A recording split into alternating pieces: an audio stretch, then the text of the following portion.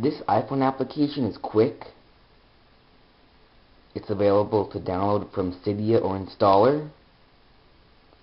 And it lets you broadcast live video to their website. First you must create an account.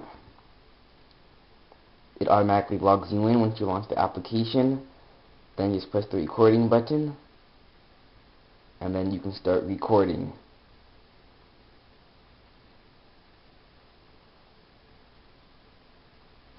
Clicking here will bring up all the controls.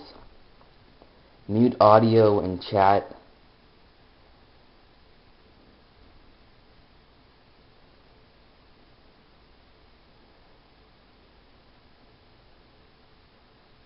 and it records at 320 by 240 resolution and it works on Wi-Fi and 3G, not on Edge.